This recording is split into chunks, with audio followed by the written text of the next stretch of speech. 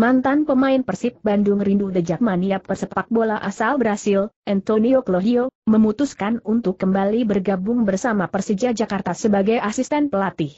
Pria yang akrab disapa Toyo itu sempat membawa Persija meraih gelar juara Liga Indonesia musim 2001 mantan pemain Persib Bandung itu mengakui faktor kecintaannya kepada Persija memutuskannya untuk menerima pinangan tersebut.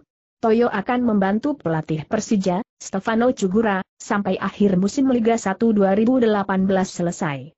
Tugas Toyo lebih kepada menjaga kebugaran pemain Persija apabila tidak ikut dalam laga tandang. Masuknya Toyo membuat asisten pelatih Persija saat ini ada dua, yakni bersama Mustakim.